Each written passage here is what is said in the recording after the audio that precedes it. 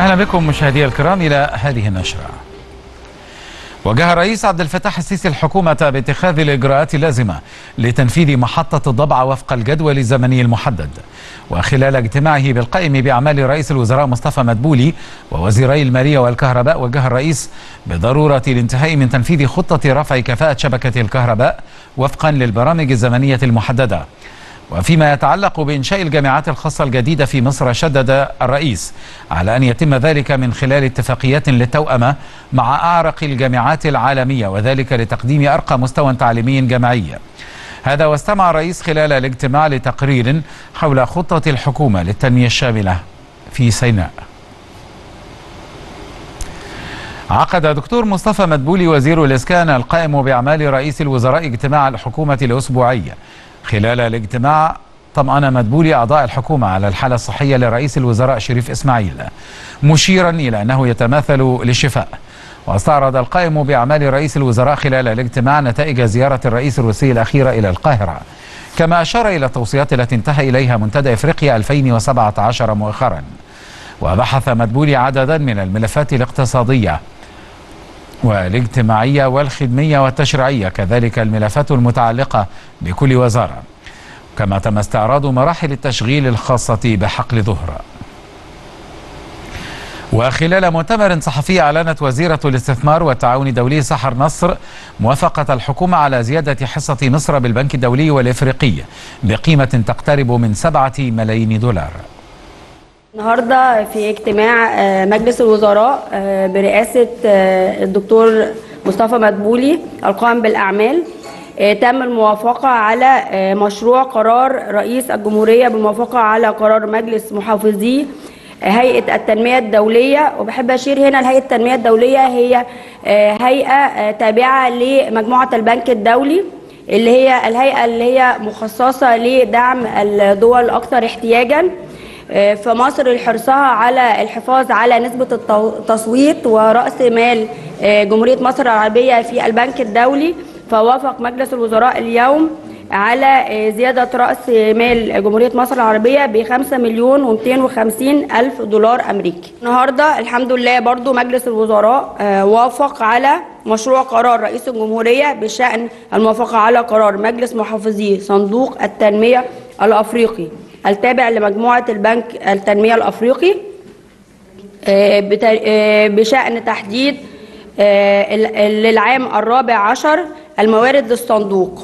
وبرضو هنا بمصر برضو الحفاظا على نسبة مصر ومهم جدا أقول نسبة مصر من رأس المال معناها أن هي قدرة مصر على التصويت في مجلس الإدارة وقدرة مصر على التأثير على القرارات اللي بتاخد في المؤسسات الدولية. فدي مؤسسة تانية النهاردة برضو تم الموافقة على والمبلغ هو 2 مليون دولار أمريكي.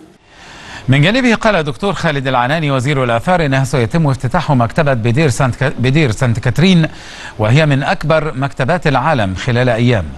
وفي بداية عام 2018 فسيتم افتتاح متحف مطروح وأثرين إسلاميين وعدد من المشروعات الأخرى. طلب مني كذلك استعراض أهم المشاريع اللي هنفتتحها الفترة اللي جاية. إن شاء الله أولها بإذن الله افتتاح مهم جدا وهو دير سانت كاترين في مكتبة من أكبر مكتبات العالم فيها مشروع ترميم وتطوير بقاله سنوات طويلة. إن شاء الله هيفتتح خلال أيام. وإن شاء الله بإذن الله هنفتتح برضو انتهاء من أعمال فسيفساء بيتم ترميمها من حوالي 10 سنين. وهي فسيفساء التجلي في دير سانت كاترين. بعد كده إن شاء الله في بداية 18 عندنا مجموعة من الافتتاحات بإذن الله. أولها إن شاء الله متحف مطروح اللي تم بالتعاون مع محافظة مطروح. ان إحنا خصصنا جزء من مكتبة مطروح معالي المحافظ خصص جزء من المكتبه عشان ننشئ أول متحف في محافظة مطروح. إن شاء الله يفتتح في خلال الأسابيع القادمة. بعدها على طول عندنا اثرين إسلاميين. إن شاء الله نفتتحهم في شهر يناير. وبعد كده بإذن الله قبل في الربع الأول يمكن مارس بالكتير متحف تل بسطه لأول مرة إن شاء الله. ثم بإذن الله في شهر أبريل أو مايو لأول مرة متحف سوهاج اللي بدأ العمل فيه سنة 93 والأول مرة هيفتتح للجمهور بإذن الله. فيما قال وزير البترول طارق الملا إن الوزارة حاليا في المراحل الأخيرة لتجارب ما قبل التشغيل لحقل ظهر مؤكدا أنه تم إجراء الاختبارات اللازمه إحنا النهارده في المراحل الاخيره للتجارب ما قبل التشغيل. إحنا يمكن شفنا آه، صور في يوم السبت اللي فات آه، تنقلتها بعض المواقع وهي خاصة بالشعلتين وكنت أنا طلعت بيان فيما يخص هذا آه، الأمر وكان الأمر يخص محطة معالجة الغاز البرية وهي في منطقة الجميل وبورسعيد وهي دي اللي هتستقبل الغاز إن شاء الله اللي هيطلع من حقول زهر. ومن أبار زهر والمحطة دي النهارده جاري الاختبارات بتاعتها المحطة دي اللي هتستقبل الغاز.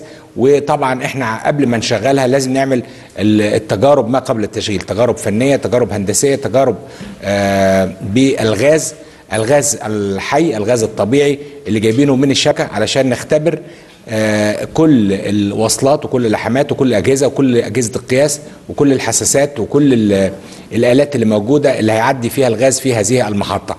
آه، فقبل ما ندخل عليها ال- الغاز الخاص بحقل ظهر من الآبار آه، بتاعته لازم نختبرها ونشوف كفاءة آه، آه، هذه المحطة وأضاف وزير البترول طارق الملا أنه من المتوقع دخول غاز حقل ظهر إلى الشبكة القومية خلال أيام.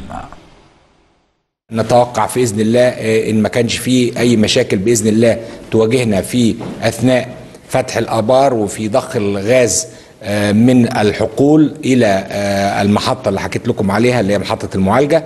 يبقى إحنا بنتوقع الكلام ده في خلال أيام قليلة جدا جدا إن شاء الله إن إحنا نبشركم بدخول آه، غاز حقل ظهر إن شاء الله إلى الشبكة القومية.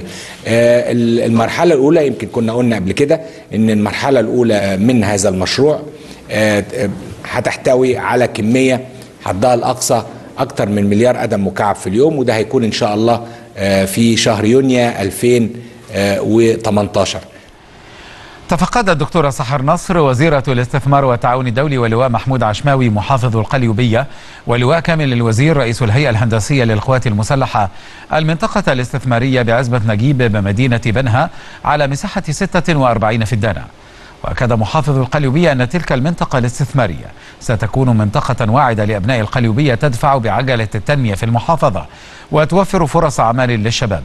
كما أكد المحافظ على سرعة البدء في المنطقة الاستثمارية الثانية في عرب العليقات على مساحة 36 فدانا بواسطة الهيئة الهندسية للقوات المسلحة. أكد مدير بورسعيد والقناة للتأمين الصحي سعيد محمود بدء تطبيق قانون الصحة الجديد في محافظة بورسعيد بداية من العام الجديد وأن هذا القانون معني بإصلاح منظومة الصحة بأكملها على مستوى الجمهورية. أول حاجة بيعملها إن في ثلاث هيئات هتبقى موجودة هيئة التمويل ودي هيئة منفصلة وهيئة الرعاية الصحية وهيئة الرقابة والاعتماد. دول ثلاث هيئات. وأحسن حاجة موجودة في القانون إن إحنا دلوقتي فصلنا التمويل عن الخدمة. بمعنى إن القانون القديم إن التمويل والخدمة والرقابة كل دول جهة واحدة فما ينفعش. فدلوقتي اللي إحنا بنعمله إن إحنا فصلنا التمويل عن الخدمة. أول هيئة هيئة التمويل. دي اللي هتشوف الاشتراكات هتشوف إزاي. اللي هي مصادر التمويل. الحاجة الثانية الرعاية الصحية اللي هي المستشفيات والوحدات. الحاجة الثالثه اللي هو الاعتماد والرقابة. مفيش مستشفى هتشتغل ولا التأمين يتعاقد معاها إلا لما الجهه بتاعة هيئة الاعتماد هتعتمدها طبقا للمعايير الجودة. وبالتالي هيبقى التأمين يتعاقد مع هذه المستشفيات. وفي بعد كده اللي هي الرقابة. الرقابة اللي هي هتبقى على المستشفيات. هنقول هل المستشفى دي شغالة كويس ولا مش شغالة؟ لأن دول الثلاث حاجات اللي المفروض الناس كلها تعرفها. أكد وزير النقل هشام عرفات أن هناك خطة عاجلة لتطوير الخط الأول لمترو الأنفاق. وخلال تفقده خطوط المترو الثلاثة أشار عرفات إلى أن تكلفة تطوير الخط تبلغ 26 مليار جنيه حيث تشمل خطة التطوير نظام الإشارات والتحكم المركزي وأنظمة الاتصالات. كما أشار الوزير إلى أنه تم التعاقد على 850 بوابة تذاكر جديدة للخطين الأول والثاني بالمترو. وافق محافظ مطروح اللواء علاء أبو زيد على مطلب أهالي الضبعة لإقامة احتفال شعبي بالمدينة وذلك لمناسبة توقيع العقود النهائية للمشروع النووي السلمي. من جانبه قال المحافظ إن الاحتفالات تعد رسالة واضحة تؤكد مدى سعادة وترحاب أبناء مطروح والضبعة بالمشروع النووي الذي يدخل مصر عالم التكنولوجيا النووية. وأوضح أبو زيد أن الاحتفال سيحضره أعضاء مجلس العمد والمشايخ والعواقل بمطروح وممثلين عن الأزهر والكنيسة. مشاهدي الكرام هذه النشرة ما يزال فيها المزيد. مؤسسة بكرة لينا تنظم معرضا لبيع المنتجات بأسعار مخفضة بالإسماعيلية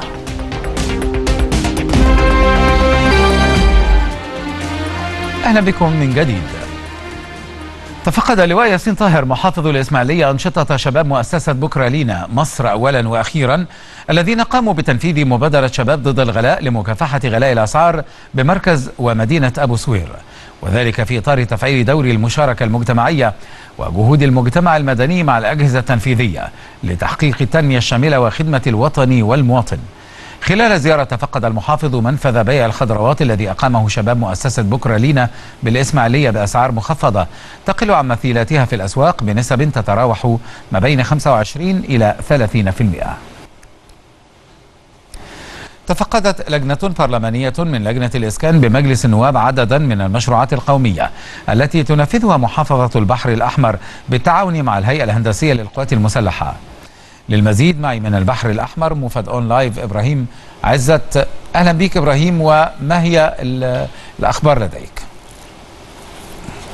نعم أهلا بك محمد من محافظة البحر الأحمر. هذه المحافظة التي استقبلت صباح اليوم وفد من لجنة الإسكان برئاسة سيادة النائب معتز محمود رئيس لجنة الإسكان.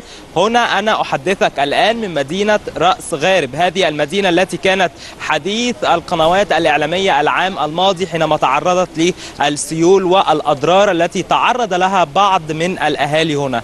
للمزيد وللاطلاع على اللمسات الأخيرة والنهائيه التي وضعتها المحافظة بالطبع بالاشتراك مع الهيئة الهندسية للقوات المسلحة تم تفقد مخرات السيول هنا في المحافظة. ولكن دعني أن أتحدث حول المزيد عن هذه الزيارة بعد أن أرحب بضيفي الكرام في هذا البث الحي والمباشر مع سيادة النائب المهندس معتز محمود رئيس لجنة الإسكان. بداية أنا برحب بحضرتك معانا على شاشه أون لايف.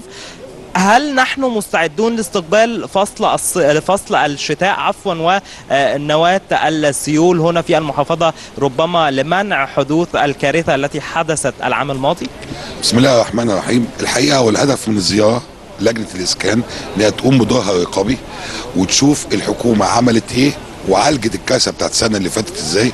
للأسف الشديد إحنا عندنا مشكلة في مصر إن إحنا تحصل المشكلة ومحدش يتابع إيه اللي تم. هل إحنا اتعملت حلول جذرية لحل المشكلة ولا إحنا بنيجي نعمل سبوتات اما تحصل المصيبه بس؟ من خلال زيارة حضرتك يا فندم حضرتك لمست إيه؟ اللي بس الحقيقة إن اتعمل جهد جامد جدا سواء من القوات المسلحة أو وزارة الإسكان أو محافظة البحر الأحمر إن معالجة الأمر بتاع مخارات السيول واتعمل سدود وبرابخ وحضرتك شفتها معانا على الطبيعة وطلبنا إحنا في لجنة الإسكان إن إحنا نراجع التصميم على أساس نتأكد لأن طبعا هو هنا بيشتغل على التصميم اللي بيجي له من وزارة الري. بنتأكد إن كل حاجة مظبوطة وخدنا تأكيدات إن إن شاء الله الكارثه دي لن تتكرر مرة أخرى بعد الشغل اللي اتعمل خلال العام لعمل سدود وبرابخ لتحويل مجرى السيل بعيد عن الأهالي. والحقيقة ده تم تنفيذه وإحنا طلبنا في لجنة الإسكان إن يجيبوا لنا التصميم وان نسبة التنفيذ عندهم هنا في مخاط السيول حوالي آه، نقدر نقول أنا من وجهة نظري هم 100% بس أنا أقول 90% لأن آه لسه برضه آه آه، في شوية حاجات لم تستكمل إحنا شفناها وهنكتبها في التقرير بس اللي تم تنفيذه يمنع أي مشكلة. لكن إحنا بنيجي نتكلم إحنا عايزين نتكلم على مستوى محافظة البحر الأحمر. محافظه إحنا مكملين مع حضرتك آه، الجولة ومع اللجنة بالكامل. نقدر نقول هو شتاء مطمئن للاهالي هنا. هنا في راس غايب وطمئنهم بس إحنا مش عايزين راس غايب بس. ما نستناش اما القصير يحصل لها مشكلة ولا سفاجه يحصل لها مشكلة ونبتدي نعمل الكلام ده. فهو المخطط بيقول إن إحنا كنا محتاجين حوالي 950 مليون عشان تبقى البحر الأحمر آمنة من السيول تماما. هو في هناك مخارج سيول معمولة لكن ما تستقبلش الكم اللي وصل قبل كده. فتم التنفيذ بتاع راس غارب والحقيقة بقية المحافظة هنستدعي الحكومة بحيث توفر الدعم الملائم اللي هم 600 مليون عشان استكمال هذا المشروع. شكرا جزيلا لحضرتك. شكرا. اذا مشاهدينا الكرام هذا هو لقاؤنا من هنا البث الحي من محافظة البحر الأحمر وتحديدا من رأس غارب. الآن عودة مرة أخرى للعاصمة وزميلي العزيز محمد ترك. إليك أعود.